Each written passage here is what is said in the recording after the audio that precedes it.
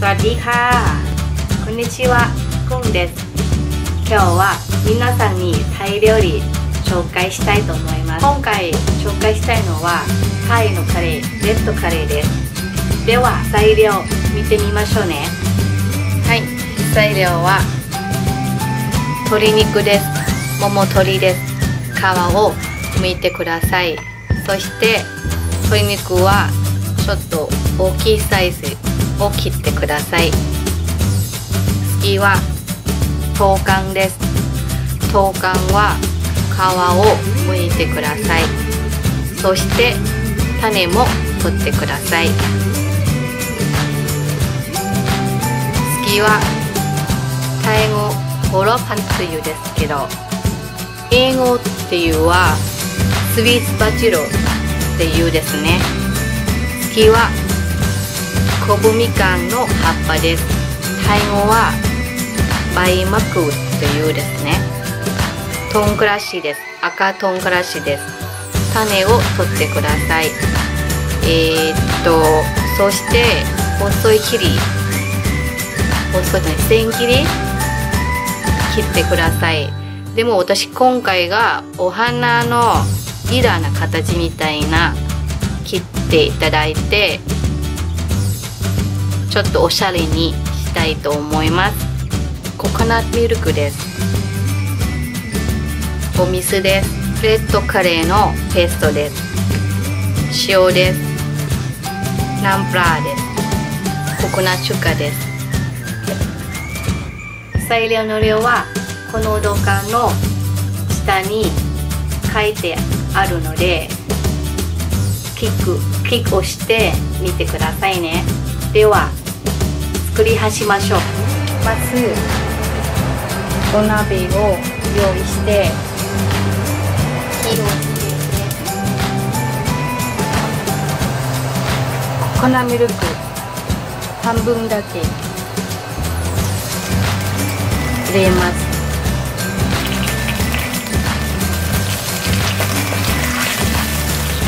ココナミルク温めたらレッドカレーのペースト入れてください。よく炒めてください。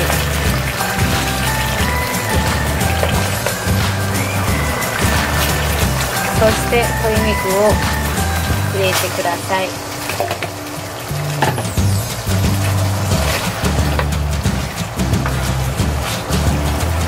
鶏肉をよく炒めます。鶏肉を火が通るまで炒めます。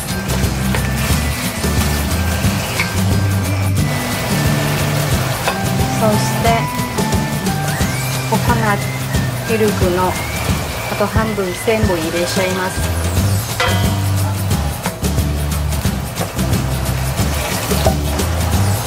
そして豆干を全部入れちゃいます。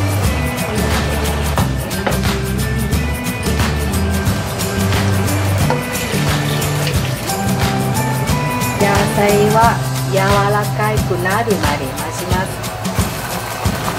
今もうお肉ちょっと柔らかくなるので味付けます。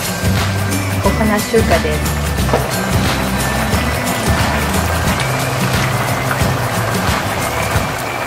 塩です。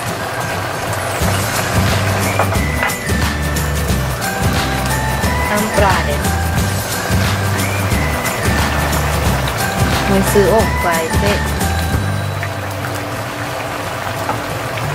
もうそろそろ OK なので味ちょっと少し味に味見します。足りないの味がご自分に好きにしてください。うん。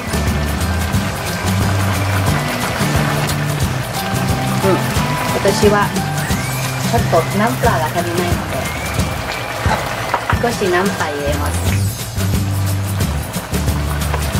もう一度よく炒めます。そしたらみかん葉っぱちょっと入れちゃいます。マクっていうね。入れる時はちょっとこうしますね香りが出てるので。香りですね。結構入れたらでスイートバジルボラパー入れます。私好きなのでたっぷり入れます。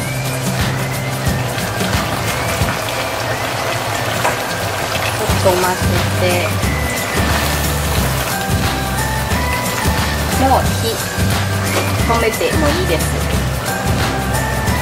ちょっと混ぜます。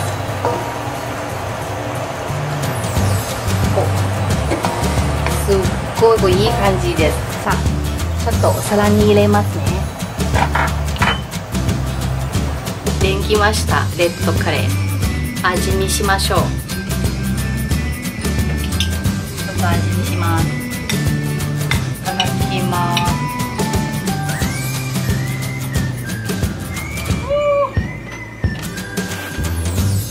美味しい。すごく美味しい。白いご飯と一緒に食べてすごい合う。はい。今日はカレー紹介は以上です。次の動画何があるか楽しみにしてくださいね。